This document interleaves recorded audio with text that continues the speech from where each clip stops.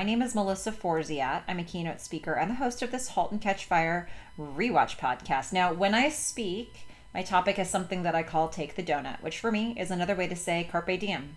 Go after the things that you want in life. And something I wanted to do this year was rewatch the show Halt and Catch Fire, but this time talk about it with other people.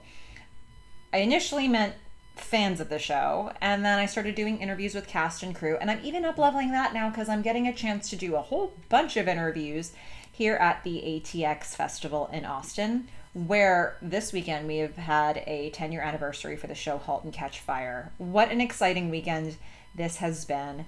And I am so honored to share with you this next interview with the one and only Kerry Bishé, who played Donna Clark slash Donna Emerson across all four seasons of the show. What an incredible interview. Um, and I just wanted to give you one heads up that we had a friend to join us. And who is that friend? If you've been listening to the podcast, get ready to welcome Evan the Stray. Um, actually, Evan has joined me for this entire weekend and we've been working on getting all this coverage for you and there's you know even more to come than what you've already seen but uh, what a blast to meet him in person this was all part of the plan to begin with to talk about this show with other people and to make a friend out of it has been so wonderful and um, evan did some very good legwork to make sure that we got this interview with kerry and Kerry was like, Evan, you got to be in the interview. And I was like, you, yes, sit right here in the middle of us. And I don't think Evan was expecting that. But uh, it was really fun to have him in that setting, and as you as the interview goes on, it was really fun to see him kind of bloom into it. And so, I hope that you all really enjoy this interview with Kerry, who has obviously thought a lot and feels deeply about her experience on the show and um, that's something that Evan and I, and I, I think, both came away from as a result of this interview. We were talking about it over dinner, and uh, what a blast this was.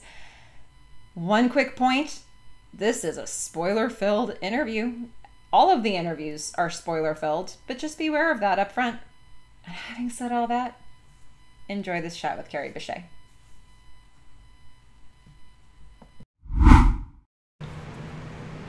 Oh, all right, everybody, here we are with Kerry Bishé and Evan the Stray. Um, so excited to be talking with Kerry here, who, okay, we know you played Donna Clark, Donna Emerson, not sure which name you prefer at this point. um, Donna has the, such an incredible transformation in this show. Where she starts is definitely not where she ends. Um, you know, we see her at first homemaker, but also has a full time job. But then over time, like the job becomes more of the prominent focus in her life. Um, what were you seeing as the through lines for Donna all the way through?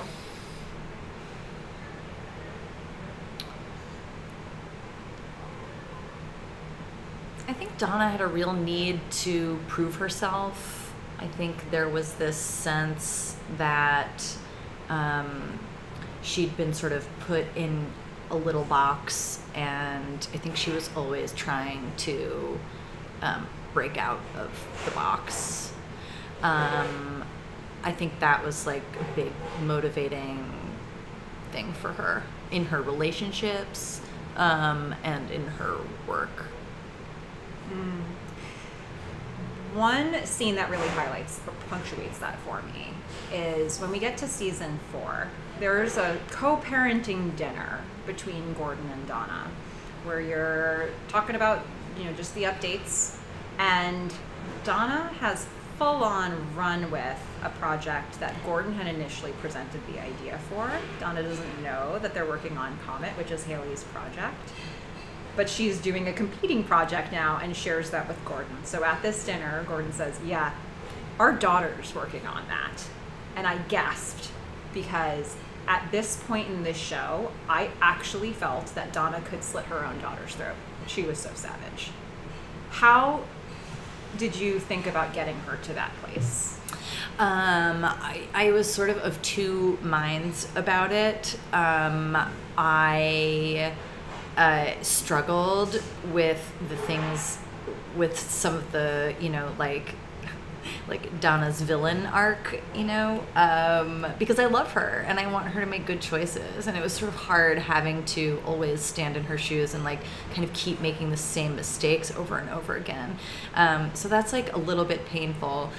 And as an actor, what a gift! What a gift!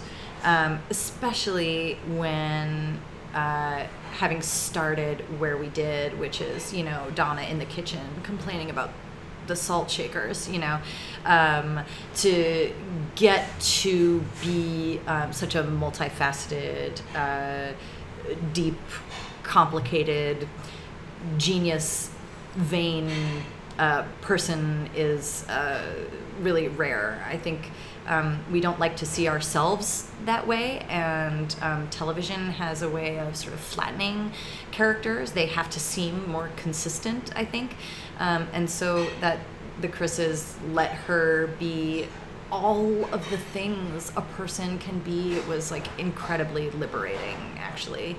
Um, and you know, I I don't know if I knew at the time because they would keep story points from us. Um, and you know her her villain arc was a great way to like dig her kind of down into the dirt and then Donna gets a really satisfying like redemption story at the end. Um, and the the further down in the in the muck you get to put a person, um, the more satisfying the redemption is at the end. So I love actually hearing, as hard as it may have been in the moment, um, to be in a position feeling like I could slit my own daughter's throat right now. you know, um, really exciting to hear you say that that's also what you received. You know, because um, what a what a win for us all. It's one of those moments where somebody not familiar with the show watching my reaction would have been like, "This is just a conversation." There's no bullets flying, like it's fine, and like, but but there's like a real gravity to the situation, and it's beautiful the way that you put that. You know, Gordon and Donna go on quite a ride. And obviously, the first two seasons, we see her almost sort of emotional affair. We see him have a one night stand, actual physical affair. They survive those things. But in the end, they do make a decision to split. What do you think keeps them together when they decide to stay together? And what do you think is finally what makes them say, we've probably done enough?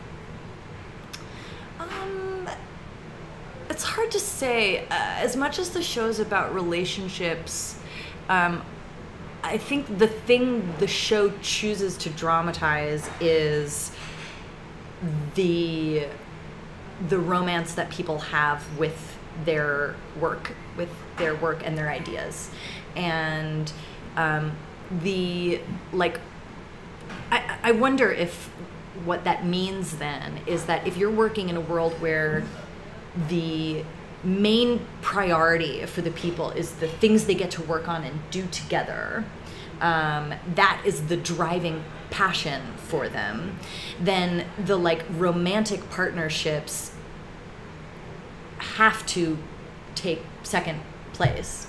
Um, that they're less important. So I guess I'd say, you know, before the story starts, Donna and Gordon have passionately engaged. Part of their courtship, I think, was inventing things together. They had the symphonic, um, their early project together. And I think the thing that keeps them going is uh, the thing that keeps them together is that idea of collaborating on a project. Um, and once that comes to its end, the relationship comes to an end. That's sort of the universe that these guys built and that they all inhabited. So, um, yeah, and her true, like, you know, creative partner, like for life, obviously, is Cameron. Mm-hmm. Um, and that's where all the, like, the energy is, is going. And the marriage, uh, you know, ends up being unnecessary. I'm really excited to ask you a Cameron Donna question. I just want to brace you because I didn't tell Evan about this, but you're going to get an Evan's choice question a little bit later. So I want you to give some thought to what what do you want to know about Donna? Um, give us some thought. I'll come back to you. I know I can't just spring this on you. Mm. Um, but with Cameron and Donna, my absolute favorite detail, among many favorite details of the series, is that Cameron has created a game that only Donna can win. It is the most beautiful thing just to sit with that. Um, and it shows to me the strength of their bond. Talk to me about Cameron and Donna. What is that bond between them?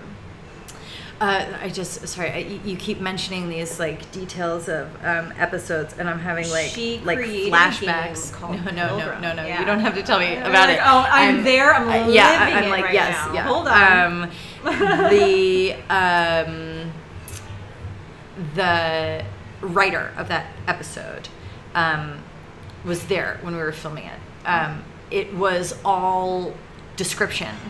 Um, we when when we were filming it, it's I'm playing the game. Um, and I'm encountering all of these things, but we don't. They're going to put those in special effects later, so there's nothing for me to see. Um, so there's just it's the most boring shot. It's just like the the camera's on me, and I'm reacting to playing this game. Um, and I was like, I need to hear it. I need to hear it, and I need the timing right. So we had her read what she'd written, the description of what I was seeing in the game, so that I knew when to respond and what to respond to, um, and what was happening fictionally on the screen.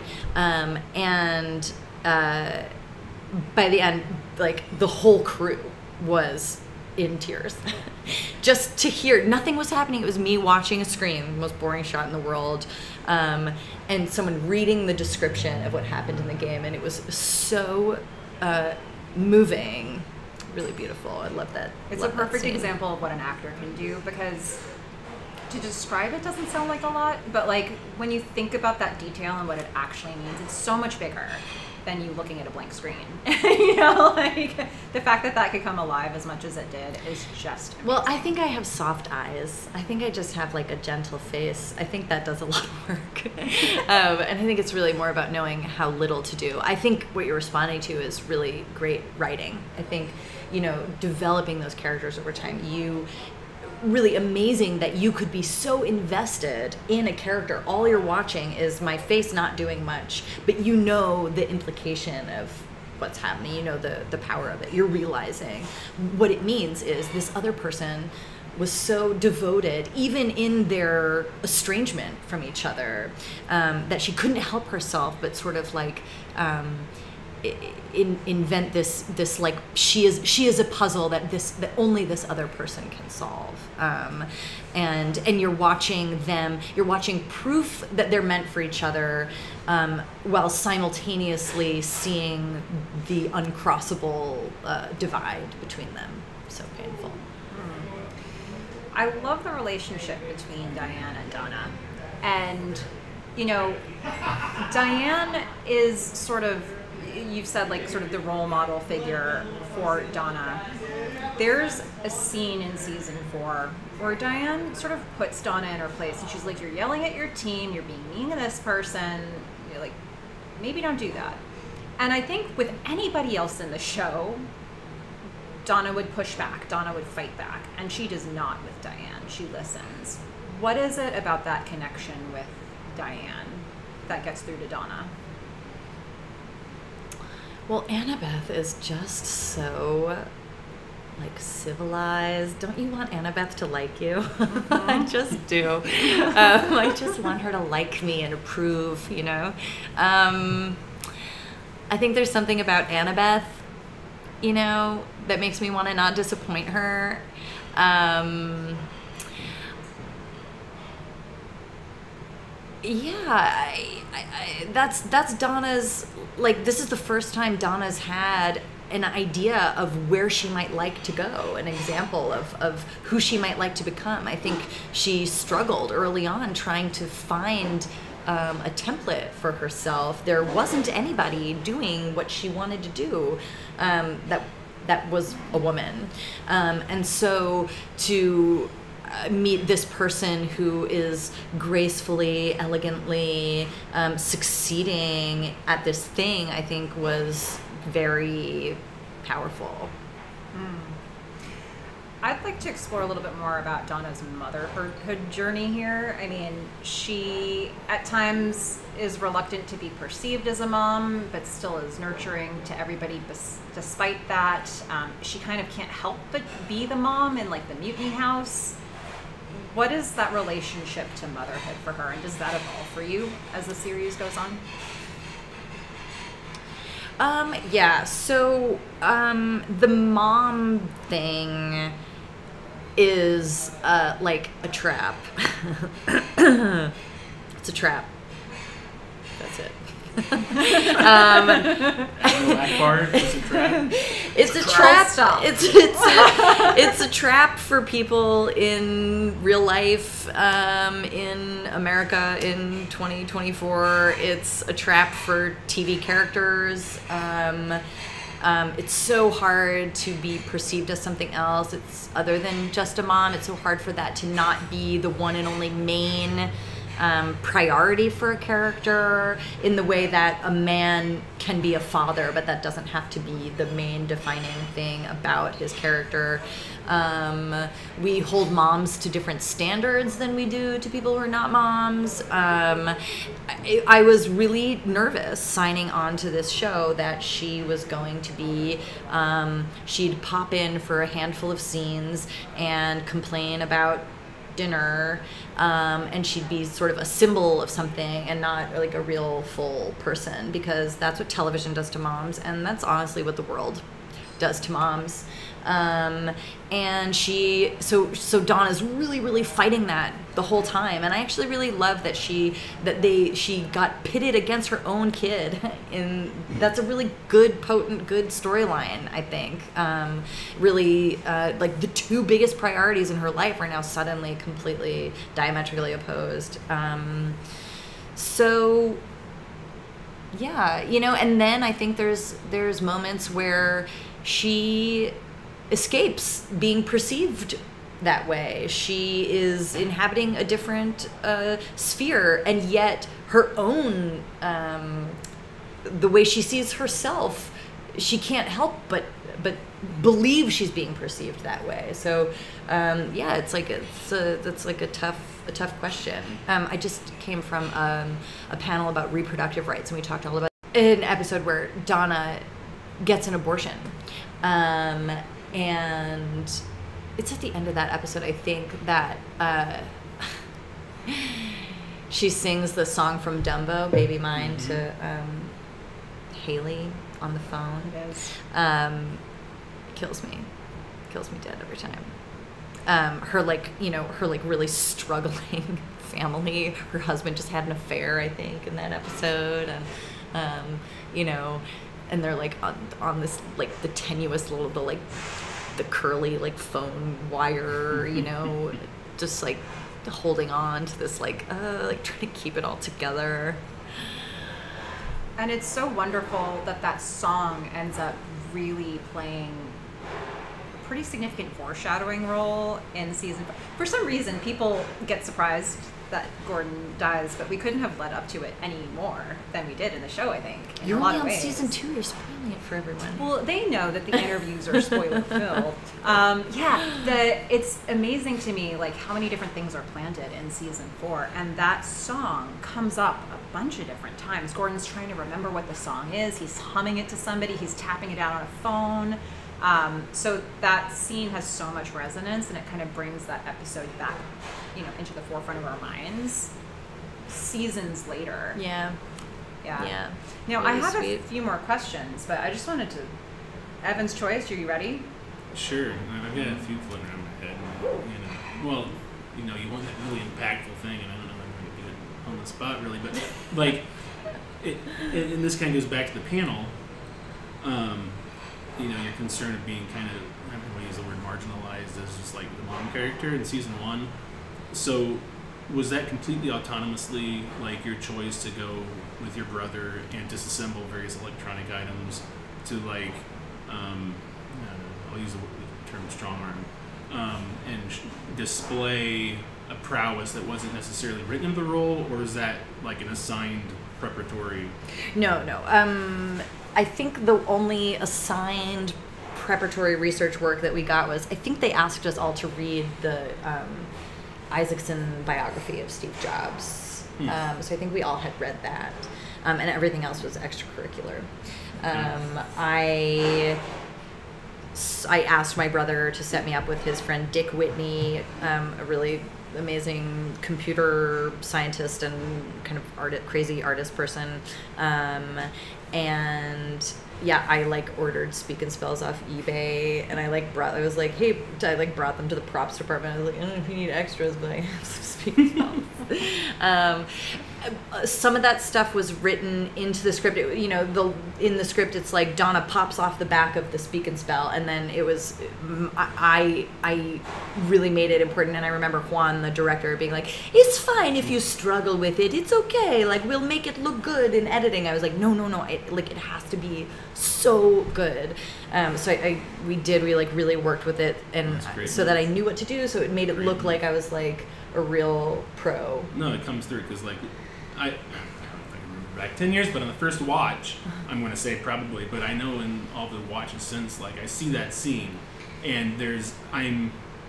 I don't know that I'm necessarily expecting like what Juan said was okay, but like it's very clearly demonstrated that you know what you're doing with like a fine screwdriver, popping the back off, and yeah, that can be rehearsed, but you know, I don't know. It was it, it, it felt really real.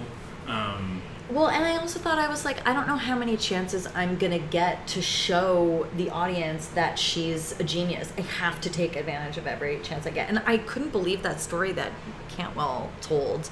Um, that was it. Cantwell said that in the earlier today that he was like all that stuff that scene that we watched that one clip um, where i'm literally going through telling her what the parts of the machine are. He was like that was your idea.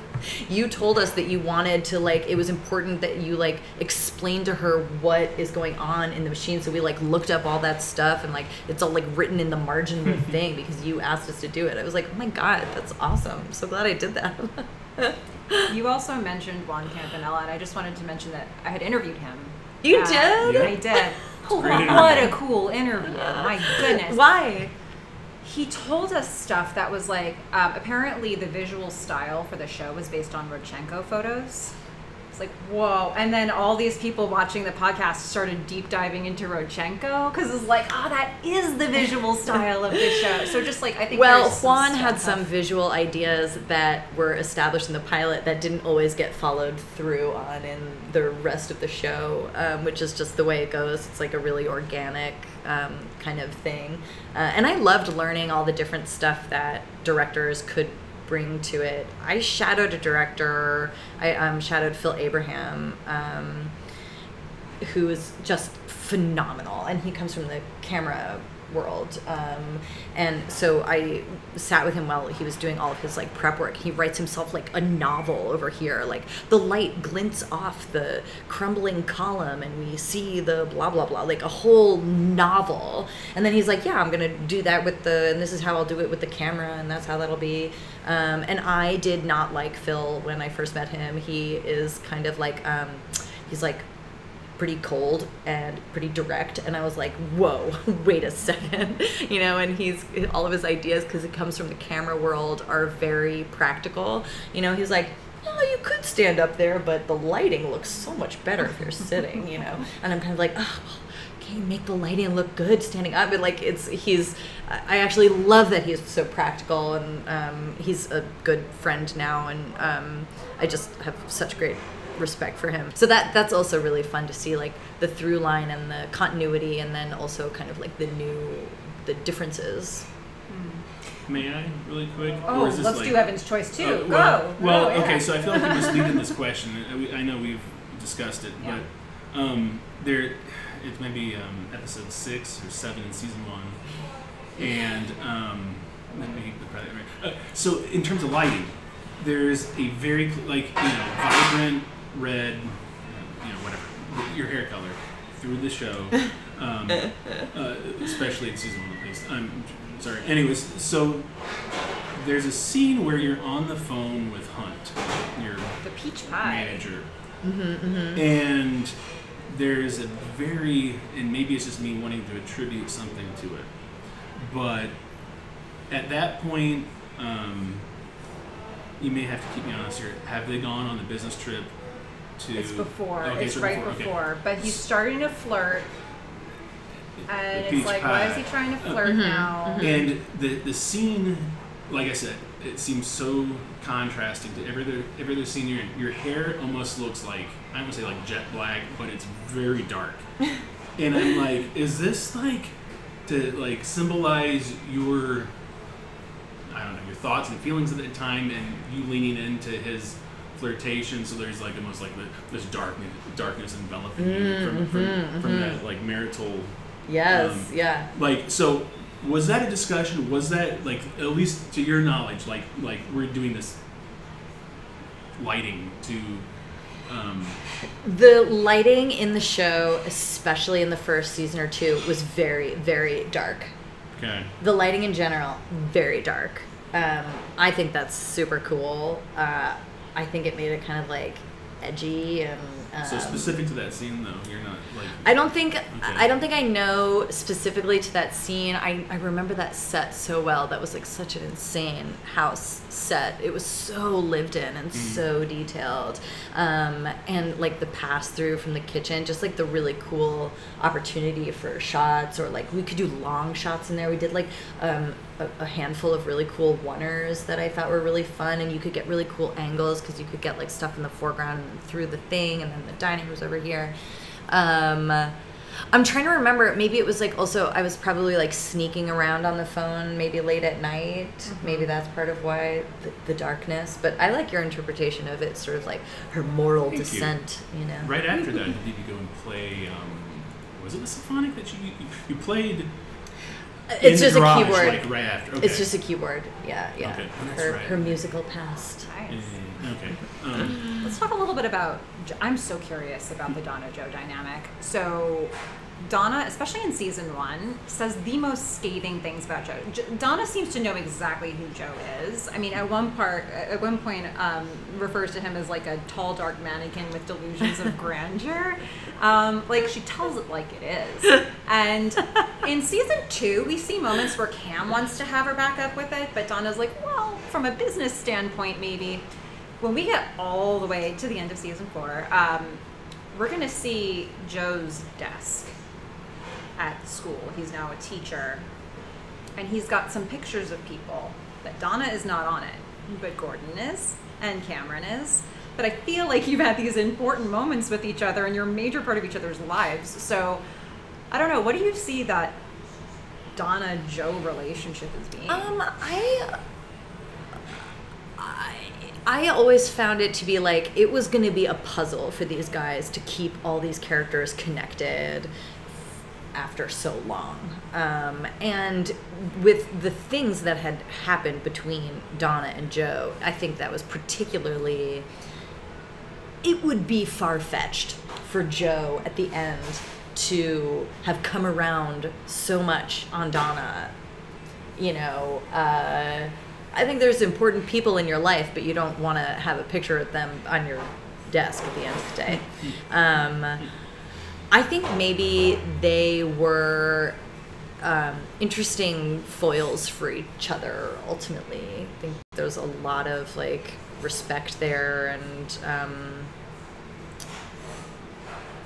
but too threaten too threatening ultimately too threatening and like uh, you got to think like donna's not there but the two most important people in her life are there on his desk um, so there's got to be something maybe too close for comfort about about each other or something like that I've got a couple more questions, and I'll just keep them broad.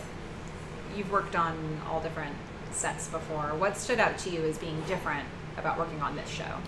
um, the commitment that every single person had to making it the absolute best thing it could be starting with i mean the chris's obviously this was like their their baby. Um, and then the actors i mentioned this earlier but um, we would get together and do our own table reads. And like it would be like a full day of rehearsal on a day off. Um, people would be out of town and fly back early so that we could do these um, table reads. And they were like table read rehearsal work session like you know five six hours um, on a sunday. Um, and that is ridiculous that's completely ridiculous. I can't imagine another group of people who would agree to do that in their free time. Um, and it wasn't even just about like yourself. It was about committing to making the show as good as we could and everybody kind of being on the same page. And um, that's like I, I just think that's so unique Oh, that's so beautifully said. I've told you about a couple of my favorite moments in the show. What were some of your favorite scenes? Some things that just, when you think about it now, it just touches you. Um,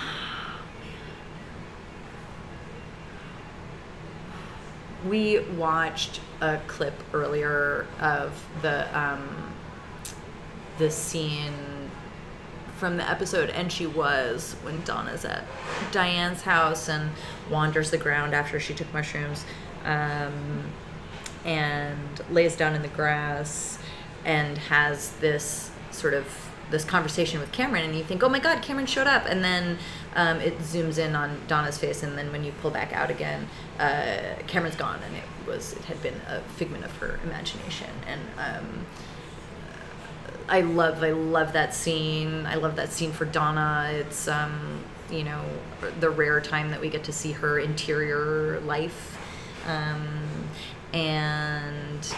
It, it's it's a little wish fulfillment. You know, you're getting to see what she wishes she could say but can't. Um, and then there's also I do love um, this is a story I already told, so forgive me for repeating myself, but um, that my stand-in was I don't know somewhere else or something happened and she didn't know what I had been doing. And it this shot was so important um, the timing and really mattered um, and so the camera assistant was like I know it I can do it. And he stepped in and and walked my did the rehearsals for the camera so that they could get all the um, timing and the positioning accurately and he um, was just so good at his job he could do somebody else's job better than they could.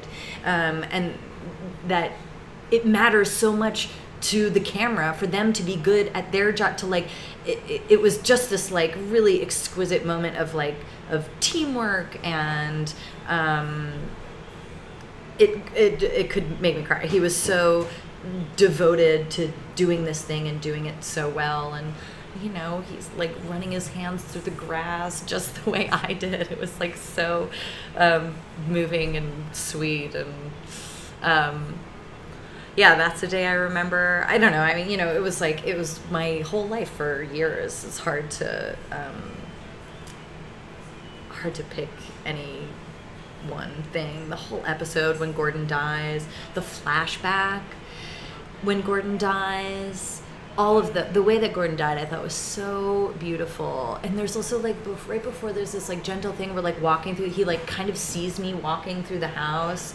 Um, but I think I'm already like in the the like flashback to when we first meet, and that's also really fun. That like late in the series you get this like, and it's like half the episode. It's like a huge amount of that episode is us when we first had our first kid together and he kind of like walks out and um, it's just like I, I loved that that um, baby was melissa bernstein's baby. Yeah. um, we were talking about that today. They were like you know i like had to make her cry. She was supposed to cry in some of the scenes and i was like oh my god what am i supposed to like make my boss's baby cry? It's so uncomfortable.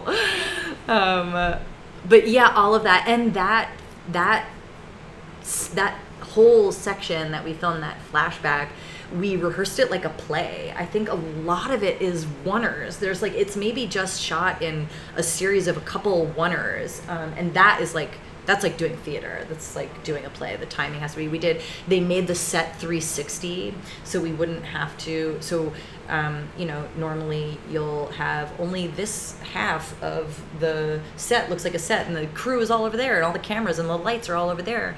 But because we wanted to film it all around, um, it was like a real coordinated dance. Um, that we really, really had to rehearse, and everything had to be done right, just in one take, and um, so that was really a really special um, opportunity. I loved that we got to see them as young people. That was so cool. Um, I, they put me in this wig that I have pictures of uh, my mom like in the 1980s and then or like in the 70s I guess because that was the flashback um, and we have like the same hair we like look the same it's so funny costumes and everything my gosh. I should have made that the last question, but I just thought of something that I don't know whose team I'd be on if I didn't ask this because this has been bothering me for years. Season four, Donna's got to watch. And every time she goes into a meeting, she flips it over. Mhm, yeah. It's like a flippable, reversible watch. yes, Is it yes. gears on the other side? And what's the deal with the yeah watch? okay i picked that watch out we the production designer had that they're like fancy fancy watches i wish i could remember what it's called it's like a very fancy it's like a italiano reverso or like something really cool um, and it's made to do that it's um, got i think they wrote it maybe they wrote it into the script and then the production designer got sent all of these um, gorgeous watches um, and we were just like watch shopping. Um, and yeah yeah so that that's how that happened. I think they wrote it in the script and then we yeah like got to pick the watch but as i was always so scared to wear it i was like please take it away from me immediately. It's like a very expensive watch. I don't want to have that. What, what for you was the significance of that? um i think the watch was partly like um donna liked fancy things Donna like finally achieved a place where she feels like she's supposed to like have fancy things. She's got the fancy things, um, and then I think the flipping is fun. The flipping is a really good, like gentle metaphor for all kinds of different things. You know, um, pick pick what you like. But you know, um, I loved Rogers today was talking about the binary nature of the relationships. Um, there's something you know, the flipping is like you know, it's on or it's off. It's a zero or it's a one. Um, and or you know like she's now this person she's a uh, she's an executive she's a vc person she's the man in charge she's you know got it she's like um, and maybe maybe toggling back and forth between her um, sort of code switching. It's like a like a tool for her to help her code switching. She's like boss mode you know? Um, boss mode activated, boss mode deactivated. you know, I don't know, I don't know, but um, maybe something like that. Oh, I've been wondering this for a long time, so thank you for indulging. I'm so that. glad you got to talk to everybody. Was so you know we talked about production design a little bit. Everybody was so talented. I'm glad you talked to, got to talk to um, Kimberly Adams. Um, she's so great. I have a sweatshirt upstairs here. I brought it. It's my Donna sweatshirt. She found it in a thrift store. It just said she didn't make it. It's just a vintage hoodie that says Donna on it, and I have it. so I have it here. Yeah, it's so great. Um, and some of the other stuff that I just have around my house, like they made notepads for all of our different companies. Agec, I have like an Agec mug. Um, Cardiff Electric, some stuff. You guys with your Cardiff shirts, you're so cute. um, but I've got like pens. I've got like all like branded tech company stuff from fake tech companies. It's like the it's the best. It's so fun. Oh my gosh. Thank you so much for, first of all, giving us so much of your time, but more importantly, for doing this show, for making this what it is. You guys, I can't believe you guys are still watching it and still talking about it. It's so, it means so much to me that the show continues to live and um, it's just incredibly moving. And thank you. Thank you for, you know, finding so much value in it. Thank you. And also thank you to the ATX Festival for making all of this happen. It's been thank wonderful. you, everybody. Yes.